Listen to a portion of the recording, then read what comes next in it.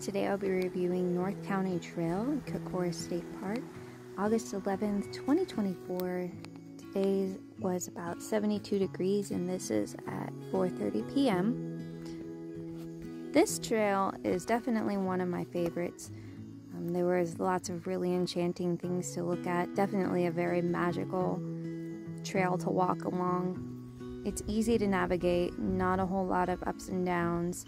It's mostly flat and clear.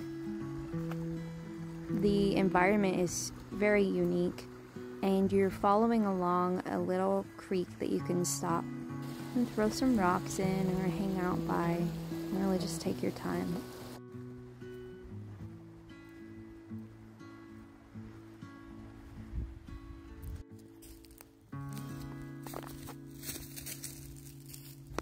I would rate this trail a thousand out of ten.